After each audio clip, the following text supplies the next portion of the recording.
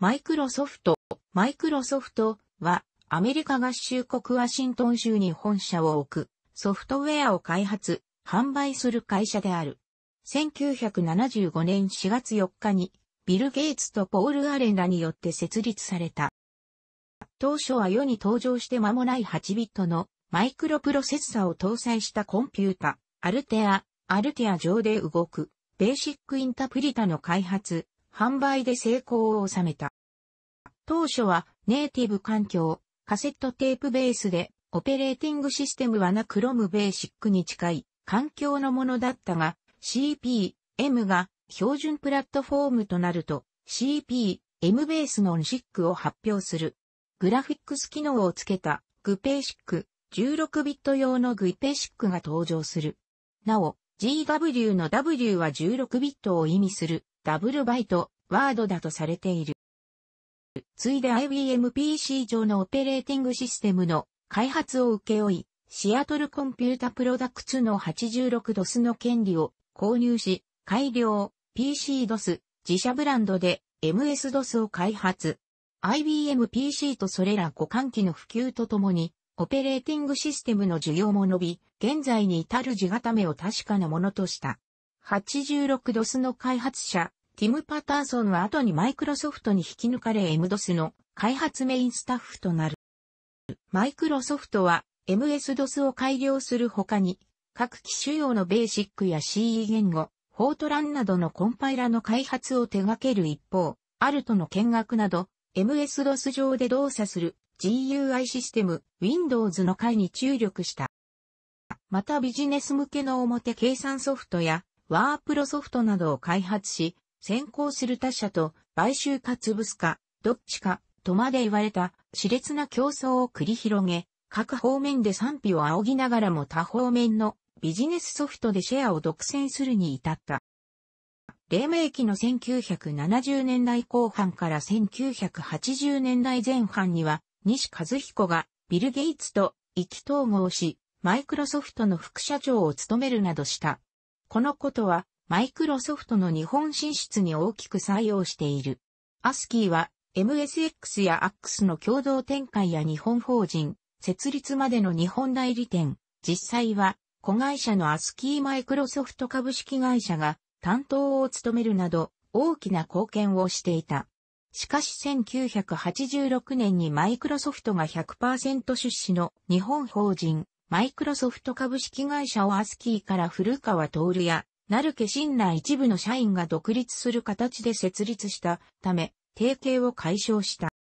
OS に関しては MS-DOS の後継として IBM と共同で OS2 の開発を行いつつも独自に後の Windows につながる OS の開発も行っていた。その後、IBM とたもとを分かち、IBM が OS2 をマイクロソフトが Windows を開発することとなった。Windows は当初は MS-DOS 上で動くものであったが、1995年に Windows と MS-DOS を一体化し、GUI を改良した Windows 95を発売した。これと並行してデビッド・カトラー率いる DC の開発チームを移籍させるなどして Windows NT を開発した。その後も Windows の改良を進め何度もマイナーチェンジを繰り返したほか、インターネット経由や CD-ROM などで大量のモジュールを配布している。Windows NT によりサーバ市場への進出も果たした。2001年には Windows XP の発売により MS-DOS 系の Windows を Windows NT 系に統合した。また2000年代に入ると、障害者のアクセシビリティへの配慮を企業の社会的責任だと位置づけ、各国でマイクロソフト支援技術便打プログラムを展開した。また、ゲーム機として Xbox を2001年に発売し、2005年12月には Xbox 360、2013年11月には Xbox One を発売した。従来とは違った分野での活躍として、フォーミュラ 1A の製品供給が挙げられる。マクラーレンエレクトロニックシステムズと共同でエンジンコントロールユニットを供給している。2011年10月17日、どんな場所でもタッチスクリーンに変えてしまう新技術、 OmniTouch を公開した。同技術はマルチタッチに対応。手のひら、腕、壁、ノート、机などをタッチスクリーンとして活用することを目指している。2013年9月3日、ノキアとノキアの携帯電話部門を54.4億ユーロ、約7130億円で買収することに合意したと発表。買収手続きの完了は2014年第1四半期の予定。2014年4月25日、ノキアのモバイル事業について買収完了を発表。2015年5月11日、海底ケーブルネットワークへの投資について発表。と共同出資、不設を協定。マウス、キーボード、ゲームパッドなどの入力機器の製造も手掛けている。専用パッドを必要としない現在の光学マウスは同社の発明であり、この発明はそれまで一般的だったボール式マウスほど世界から駆逐した。XY 方向の入力だけが一般的だったジョイスティックに Z 軸の回転を加えた新しいジョイスティックなど、それまでの常識を覆す新製品の数々を送り込んでいる。数々のエポックメイキングをこなしていた当時のハード部門は社内ベンチャーだったが、光学マウスの成功により正式な部門に格上げとなった。ハードウェアの最初の製品は Apple II 向けの Z80 ソフトカードである。これは6500に CPU を搭載した Apple II に Z80 を搭載したカードを挿入すると CP、M ベースのマイクロソフトベーシックなどを動かせるようした商品で一説ではシアトルコンピュータプロダクツのティム・パターソン、MS-DOS の設計者が設計したという。Xbox はマイクロソフト社の手掛けた家庭用テレビゲーム専用機である。アーケード向けに千尋と呼ばれている Xbox プラットフォーム基盤がある。次世代製品として2005年に Xbox 360も発売されたプレイステーション3 Wii と並ぶ第7世代ゲーム機の中では最も早期に発売された。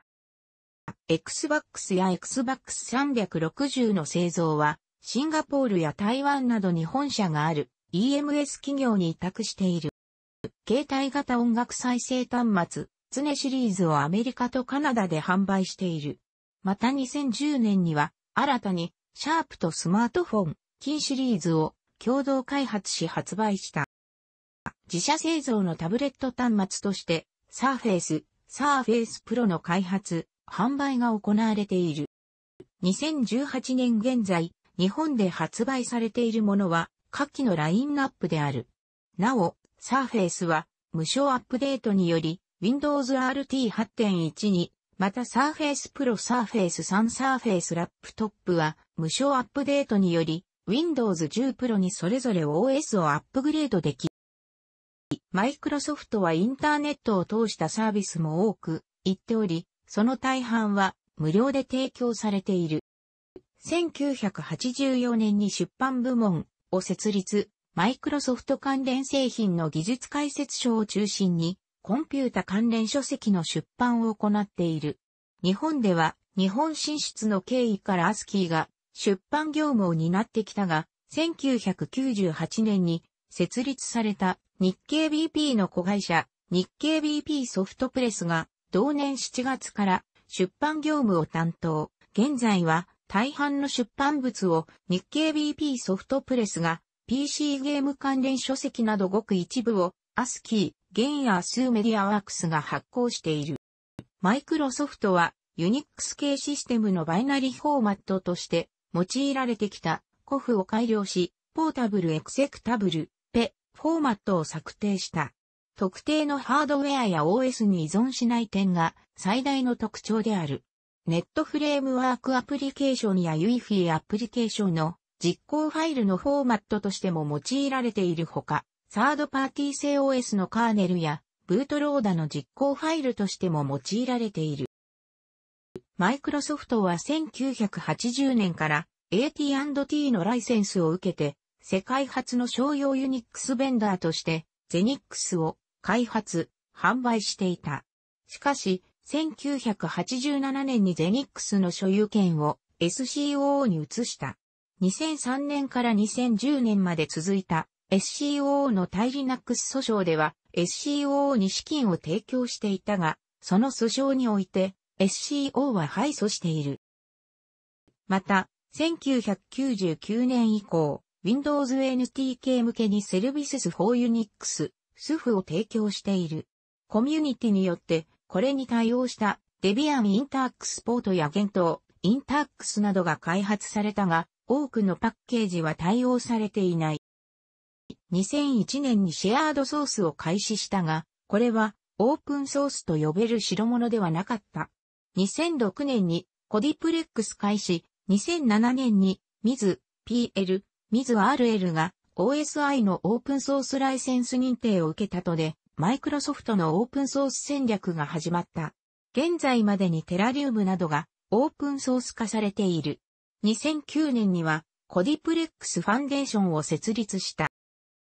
2008年、マイクロソフトはハイパー V の Linux 統合コンポーネントを開発したが、2009年にカーネルモジュールの GPL 違反が指摘されると、ソースコードを公開し、Linux カーネルのメインラインへの統合のために、Linux 系のメーリングリストでの開発に参加することとなった。また、2009年に Windows 7 USB DVD ダウンロードツールの GPL 違反が指摘されると、ソースコードを GPL で公開した。マイクロソフトは、ハロウィーン文書や Get the Facts キャンペーンなどの不度戦略を行っている。2005年にマイクロソフトがセキュリティイノベーションへ依頼した調査結果がノベルに反論された後に2006年からノベルと提携している。なお、ノベルはユニックスの知的財産を持ってはいたが、その当時はまだ SCO との裁判中であった。2007年にマイクロソフトはオープンソースにおける特許問題を提起し、2009年には Linux カーネルを使用することに特許侵害があるとしてトムタムを訴訟した。また、複数の会社に Linux を使用することを認めるといった内容の契約を訴訟を背景に結ばさせている。2010年11月、アタッチメイトがノベルを買収する際に、マイクロソフトが2010年11月4日にデラウェア州で設立した有限会社 CPTN ホールディングスは、ノベルの882個の特許を4億5000万ドルで入りした。なお近年では、マイクロソフトラブズリナックス、マイクロソフトはリナックスが大好きといった投稿を公式で行うなど、リナックスに対して融和の姿勢を見せており、事実クラウドプラットフォームであるマイクロソフトアズレでは、OS として Linux も利用できるようになっている。また、ザ・リナックス・ファンデーションでは、プラチナメンバーとして参加するとともに、ソースコードの提供も行うなど、Linux をはじめとしたオープンソースコミュニティへの貢献も積極的に行っている。2018年4月には、IT 向けの Linux ディストリビューションであるアズレ、スフィアーが発表された。デファクトスタンダードが一企業に集中することは、ユーザーや社会全体が不利益を被る面も存在する。マイクロソフトは米国で反トラスト法違反として司法省に提訴された。一審では OS 会社とアプリケーション会社に分割する是正命令が出たが、ワシントン連邦高等裁判所は一審を破棄して地方裁判所に差し戻した。現在では実質マイクロソフトの勝利の形となっている。2004年3月、欧州連合の欧州委員会は、マイクロソフトが Windows の支配的地位を乱用し、競争法に違反しているとして、約4億9720万ユーロ当時相場約795億円の制裁金を課す決定をした。マイクロソフトは当初これを拒否していたが、2007年10月にこれを受け入れたマイクロソフトの欧州連合における競争法違反事件も参照の子。しかし、2008年2月27日、欧州委員会はその後もマイクロソフト側が十分な Windows の基礎情報を提供していないと判断し、8億9900万ユーロ、当時相場約1440億円の新たな制裁金をトガと発表した。これは発表時において欧州委員会が一社に課した制裁金の最高額である。欧州委員競争政策担当のネリー・クルスは、発表に際して命令に従うというだけでは十分ではない。行動で示す必要がある。欧州委員会の要求はまだ満たされていないと発言した。毎年、ビル・ゲイツが世界長者番付、フォーブズ氏に名を連ねる一方で、マイクロソフトが全世界的にオペレーティングシステムの市場を独占し、また世界中のパソコンの新規購入費用に Windows のライセンス費用が大抵含まれている様から、マイクロソフト税という揶揄する言葉が生まれた。2002年に公表された決算報告書から Windows の利益率が約85%であることなどが判明したところ、ほとんど紙幣を吸っているようなものであるなどと一部のメディアに揶揄される事態に至った。マイクロソフトはエンタープライズ市場とコンシューマー市場の両方に参入しており、各分野の IT ベンダーと競合している。1999年には Windows Refund Center というウェブサイトを中心に Linux やフリーブスドなどのユーザーが PC にプリンストールされている Windows は使わない。として PC の価格から Windows のライセンス料の返金を求める運動を起きている。また、フリーソフトウェア財団 FSF は2009年10月22日に発表された Windows 7についてはアンチ Windows 7キャンペーンを展開した。FSF は Windows Vista 発表時にも同様のキャンペーンを起こしている。2009年6月26日には FSF の創立者であるリチャード・ストールマンが将来的にマイクロソフトがノーウィッキー C、ノーウィッキーに対して特許を主張する可能性があるため、フリーのノーウィッキー C、ノーウィッキー実装は意識的に減らしていくべきという文章を発表した。これに対してマイクロソフトは同社のコミュニティプロミスを適用し、ノーウィッキー CE、ノーウィッキーに関する特許は取得しないと発表した。オフィススイートのフォーマットはオープンソースで DOF、オパンドキアメントの標準化が進められており、OPENOFFICE.org、ストラフス、ストスイート、一太郎、コフィスなど、これを採用したオフィススイート間での互換性は向上した。実際に、オパンドキアメントについては国内を含む各国の行政、自治体で採用の動きが強まっている。しかし、マイクロソフトがその流れに反して、トフとは全く互換性のない新企画、オープン XML を定義し、Office 2007で標準フォーマットとして採用した。マイクロソフトはオープン XML の優位性を主張しているが、GNU 関連の団体は時代の流れと逆行するとして、マイクロソフトの行為をシェアの暴力と批判し、論争を呼んでいる。2011年12月にはマイクロソフトディベロップメント社において、いわゆるパワハラにより解雇されたとして裁判が発生している。2013年11月、当時の CEO であったスティーブ・バルマーは GE を模倣してトップダウンで導入したものの、社内外を問わず酷評されていた人事評価、システム、スタックランキングを廃止。2016年、マイクロソフトは Windows 10への無償アップグレードを2016年7月29日までとしていたが、アップグレードの通知メッセージがわかりにくく、誤ったまま半ば強制的に OS がアップグレードされてしまう事象が多発し、消費者団体からのクレームを受けた。また、国会でも質問主意書が発行されるなど、問題は大きく広がりを見せた。日本マイクロソフト株式会社、略称 MSJ は、主に営業、マーケティング、サポート、社長室及びホームなどを担当する会社。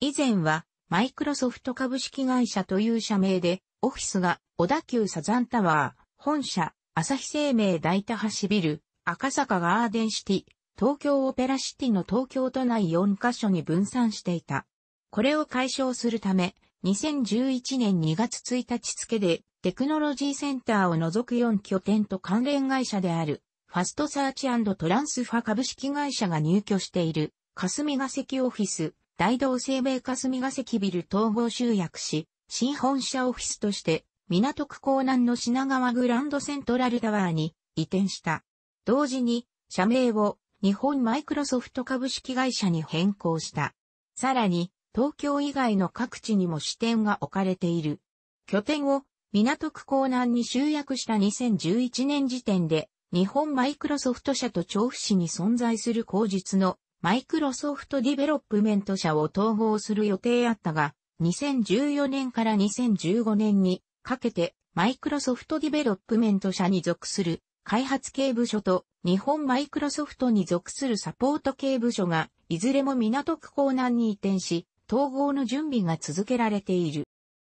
現在はもはや非公式な通称であるが、改名前の略称は MSKK マイクロソフト株式会社の略であった。日本市場では日本オラクル、SAP Japan、Salesforce.com、Amazon Web Service Japan、Google 合同会社、日本 IBM、Apple Japan、サムスン電子などの外資系企業だけでなく、富士通、日立製作所、NEC、ソニー製作所など日系企業を含めた多くの IT ベンダーと競合しており、激しいシェア争いを繰り広げている。マイクロソフトディベロップメント株式会社には、主に開発部署が所属している。日本マイクロソフト株式会社の子会社ではなく、マイクロソフトコーポレーション本社の子会社である。以前は、米マイクロソフトプロダクトデベロップメント LTD の日本支社という位置づけだったが、2006年、会社法の改正に対応するために、日本の株式会社として改組された。本社は、マイクロソフト、調布技術センター、東京都調布市調布が丘1の18の1に置かれていたが、2014年に開発部門が日本マイクロソフト本社と同じ品川グランドセントラルタワーに移転し、2015年になってサポート部門が同様に品川に移転した。2018年5月現在、調布技術センターの表記はマイクロソフト社のウェブサイト上に存在するが、実際には機能していない。本社所在地は2015年4月に品川本社と同じ港区港南に変更された。楽しくご覧になりましたら、購読と良いです。クリックしてください。